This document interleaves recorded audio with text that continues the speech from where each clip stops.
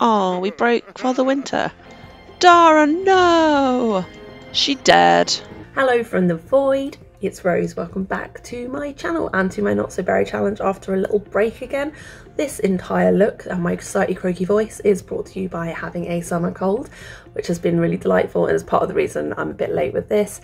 I'm also just been really busy. I hope you're all okay. How you doing? How you feeling? What you doing? What you playing? Drop a message in the comments. Today with Flore, we are going to be really pushing for some of those level 10s, her career, her skills, because it is time. We are ready. Um, and, you know, obviously trying to progress the twins a little bit. I think Cerise will probably age up in this episode. We'll see how far we get. But yeah, let's see how it goes. Hopefully we can just get through without anyone dying or anything too mad happening. But it's Flore, so I won't hold my breath. Let's see how we do. Last episode we took a little a little hiatus from the Winterfest celebrations to go down into town and drop homework off and meet some new school friends, which is where we left the last episode. Um, but now we're back. I finally convinced them all to open presents at the same time, which let me tell you was a struggle. And even even lovely Curtis came back, so that was um, that was good of him. Um, in any spare moment, Flore is just grinding to get that logic skill up because we are desperate to finish her generational goals. It's been a little while, so she's basically confined to the chess balcony at any point where she doesn't actively need to do something to keep herself alive. Curtis has also been a sweetheart and he is helping the twins out with their school project. It's not super important to me that the twins are super academic. Like quite often I think the Rose generation people take it quite like a um, academic overachiever way, but I kind of feel that's more of a yellow thing for me. So um, I want them to be doing okay at school, but it's not like the be all and end all. Oh, we broke we broke Father Winter, and now we're all hanging out in Flore's room. Uh, Crimson's asking for a gift. Carmine, why aren't you sleeping in your own bed? Oh, he takes after his mummy. Cute. I mean, slightly terrifying, but I do love Crimson. He's so sweet. And good morning. I figured it was probably about time to pay some attention to Cerise, so Flore's gone and said hi. She's actually going to attempt to help her with one of her skills. You know, not all of them. Be wildly out of character, but but one we can probably manage. And the kid desperately needs a bath, so we'll do that. And then we'll get back to absolutely grinding away at our logic and mischief skills. Good morning, Crimson, you gap-toothed sweetie. I'm sorry, he's just too adorable. I'm still a little bit sad I didn't get to play the Rose generation with him just because look at that face, but I do find it more believable that Carmine would like follow the path I have planned out. Um, and yeah, at the moment we're just you know strengthening our relationships across the yellow across the yellow ground. We're not going to mess anything up with Daisy just yet, but in time. And you know, I do find it telling that Crimson and Daisy are still very much um, you know, besties, and Daisy quite often doesn't call Carmine and does call Crimson, so definitely nothing happening there. Back on the chess. Finally, we have reached level 9, only one more level to go. Level 10, I swear, it takes forever, but first we gotta go to work. I'm not thinking we're gonna get promoted today, probably, but um, it would be nice, so we're gonna try and like boss out as many tasks as possible. Hello, alien colleague. I still haven't had the opportunity to push the grab button, but I'm going to avoid that just in case it does somehow end up with Flore being dead, which would be bad. Oh, she's feeling some festering bitterness, which has put her in a terrible mood, which we do not need. We worked really hard to put her in a focus mood before she comes to work, so who is messing me up? Is it Dara? Dara, what did you do to Flore? Or it could be the alien guy. Wait, we have two aliens. Oh, Flore's been being really alien racist. She's um, thought that these guys are both the same, but we've actually got two. Uh, one of them is one of them is only one of them is Abe the alien. The other one is someone else the alien. My bad. But I mean, Flore is inconsiderate, so she probably wouldn't notice at all. She's just like, you stupid echo voiced aliens, get out of my lab. Now she's going hunting for the other one with her freeze gun. I think we've got what we need to make the Reaper's Friend now. So we need um, Death Flower and an Alien Crystal, neither of which we're going to get. So that's another another strike against our promotion opportunities. Um, instead, we're just like evilly laugh around the place. Yep, see, two aliens, dos alianos. I do think at this point in like both the careers and the skills, it just takes so long to get promoted or progress. It the game does like lose a bit of dynamism. Like one thing that weirdly I would like from Sims 5 is like something like additional challenge that's not just like, oh my god, it looks like Curtis and Ayaka had a baby. Back on my tangent, I think I'd just really appreciate if instead of just grinding out like reading a book for an entire day, there was a little bit more like challenge somehow built into the higher levels of skills and careers. It's a little bit dull. That's my wish for Sims 5. Please. Oh my god, Carmine has become a B student and so has Crimson. Thank you, Curtis, for helping them with their projects. And Flora's having a small meltdown. She's like, ha ha ha ha ha ha, uh, which I can relate to right now. But we'll just let her self-soothe with the with the ray gun. Sadly walking about to make some serums. Doing serum stuff at the working day. Oh my god, Dara! Dara, no! She dead. I mean, but you died looking fabulous. Thanks in no small part to Flore. You know, forcing you to constantly wear your formal wear at work. But more importantly, this is going to prevent me from getting promoted. because I'm not going to finish my tasks. Oh, God, Dara. Could you have been any more inconvenient?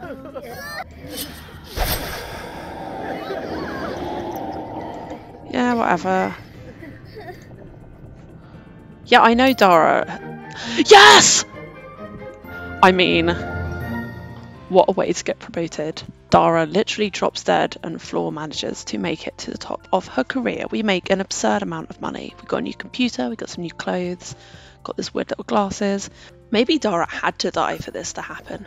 I am absurdly, preposterously, embarrassingly thrilled that we have finally hit another one of Flore's milestones, only the level 10 skills to go.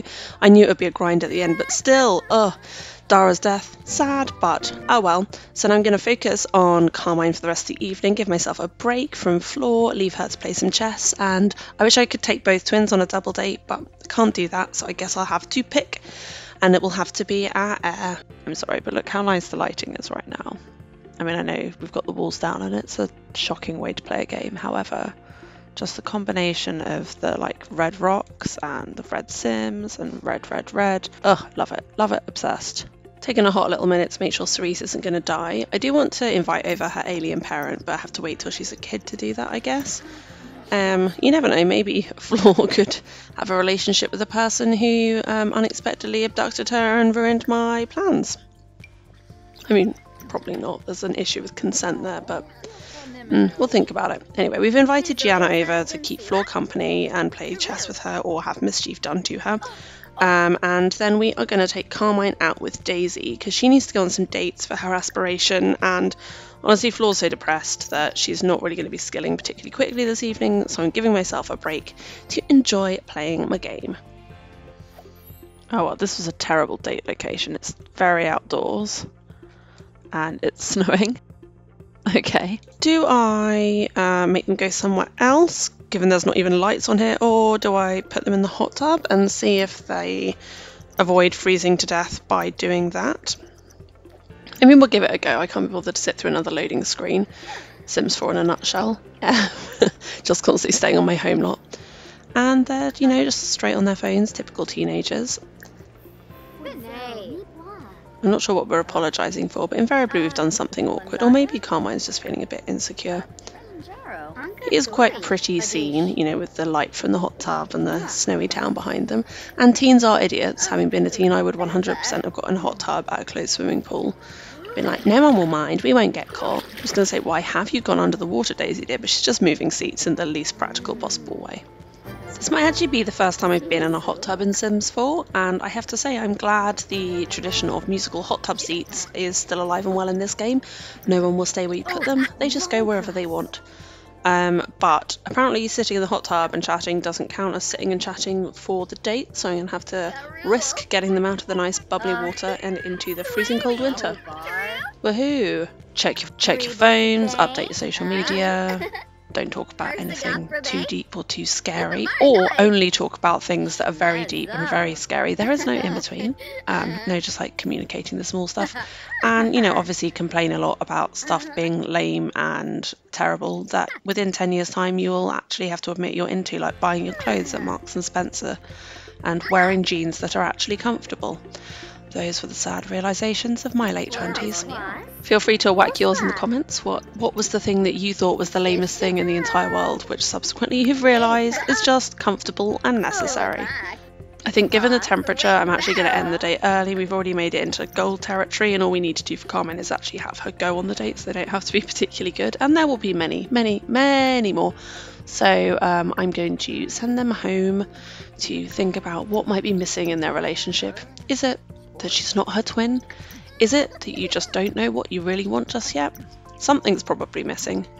If you can hear vibrations, that'd be my cat. She's very grumpy. We moved house, and ever since that happened, she basically is stuck indoors and hates me. Flore's in a pretty bad way. She has failed to troll her feelings away. Gianna and Curtis don't seem to want to leave, but I'm still just gonna send everyone to bed. It's oh so quiet. It's oh so still. Why is Flora awake? Oh, you better be kidding me. Oh, fuck's sake. No! No! No, no, no, no, no, no, no, no. She's pregnant this time. It's going fricking back to 6am. Um. I like that she's been abducted, but still has like come back and been like, yes, I'm just going to make the garlic noodles you earlier instructed me to make. Also, since when are garlic noodles gourmet food? Like some of the choices that have been made in this game, I just question. With love, obviously. I love this game. I hate this game. I'm salty at this game for abducting me twice, when I didn't even bring any of my space stuff home for exactly that reason. Right, we are going to take a vacation. Well, take a day off work anyway. No! Bastards! Do not want. Carmine, why don't you come play chess with your mum? She's sad, she could use some socialisation with her chosen heir. Also, we need to take the Christmas decorations down. No matter how much I do, there's always about 20 other things that need doing. And if that ain't the true life simulation, I don't know what is. Crimson really hates exercising, yet he's aggressively swimming, and I'm not really sure why. Flore's just being mean to Carmine. Sounds about right. Carmine's straight up cheating at chess. What did I do to deserve this family? Especially the women. They're just utterly, utterly bonkers. But I wouldn't change it because it's fun. But sometimes I want to bang their heads together. But it's fun. It's fun. Keep saying it. Keep saying it. We are having a gathering, and Blaine and Marigold and Daisy, everyone's here. Everybody's here. I think this is definitely both the perk and the challenge of doing a challenge, so like the Not So Berry challenge, because I don't think I've ever really like naturally played a game where I have like a massive friend group, so it's so hard to control. But obviously, that's kind of required um, to have the level of acquaintances I need for the Rose generation. So um, I'm playing with clubs really f- in a way that I haven't previously. I've got all of these people constantly in the house, which is not something I would normally do. I'm normally hyper focused on my family. So yeah, it's a it's a fun challenge and like genuinely um, has like diversified the way I play. So the reason for this particular pooling interest gathering is that we have got some school projects to do, and in the story I am telling, um, Blaine has been paired with Carmine, and Daisy has been paired with Crimson. So they've got the whole of the pooling interest group over to um, work on the projects, you know, hang out together, try and make it a bit more fun rather than just being homework. But Blaine is very much like giving off the vibe of why the hell are we doing this? Like, this is completely lame. Like, why don't we go do something more fun? Anything would be more fun. So, um, Carmine, who is definitely a little bit impressionable and like wants to impress people, is like, yeah, it is kind of lame. Whereas if she was uh, paired with Daisy or Marigold or any of the others, really, she probably would be a bit more, um, a bit more into the project. So yeah, we're starting to see some like different different influences coming into Carmine's life, which hopefully will help her to develop her character as we go ahead in the challenge. It is just worth saying that um, all of the people that made these Sims for me um, were told what kind of character to make, so I sort of sent out a list of like a sim that gives off this vibe, so um, you don't need to worry about uh, Blaine's making parent being upset that she is having some more bad girl vibes. And the reason that Carmine and Daisy aren't working together is that Crimson and Daisy, they've been lab partners their whole lives. They've always done group projects together. So Carmine's like, of course, you can still be partners. And it is time to boss out Flore's final things. And of course, she is majorly depressed. But unfortunately for her, Cerise's birthday is also today, so we are going to have to pay some attention to her and not just boss through our skills. So let's maybe start out by washing this ear child. She's so bummed out. Nice work, Carmine. So, right, let's have Flore try and like give herself a pet talk. I think she's going to be too bummed out to raise her skills just now. Right, this kid, it's her birthday, so we will try and remember to do her cake. And where are her skills at? Let's have a have a little looky look. She's doing okay. Let's have her go potty. Flore, we're just literally keep her up here. Just super boring to watch, but it's what needs to be done. Jacob, no, get in the bin.